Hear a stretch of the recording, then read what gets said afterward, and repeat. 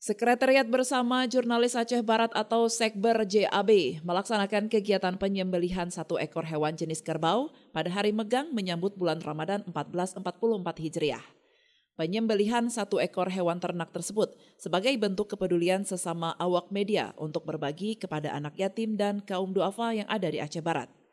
Dari 90 paket daging yang dibagikan di antaranya, sebanyak 50 paket daging untuk anak yatim dan piatu, 20 paket kaum duafa dan 20 paketnya untuk para jurnalis yang tergabung di dalam Sekber JAB. Ketua Sekber JAB, Khaidir Azwar mengatakan, kegiatan yang dilakukan ini dalam momentum menyambut bulan suci Ramadan. Penyembelihan hewan di hari megang ini untuk meringankan beban anak yatim dan kaum duafa.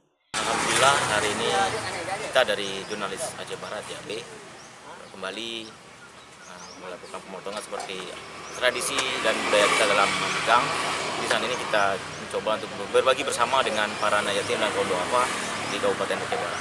Nanti selain diserahkan di tempat ini untuk penyerahannya secara simbolis, juga kawan-kawan jurnalis Aceh Barat juga akan mengantar to door ke rumah-rumah anak yatim dan kaum kaum duafa yang bisa semoga ini bisa bermanfaat lah untuk bisa dinikmati bersama keluarga jelang bulan Ramadan ini.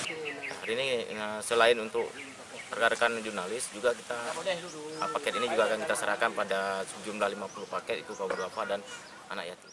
Di tengah mahalnya harga daging di pasar saat ini, diharapkan dengan adanya sedikit peran Sekber JAB ini setidaknya dapat membantu meringankan kebutuhan bagi anak yatim dan kaum duafa di hari megang.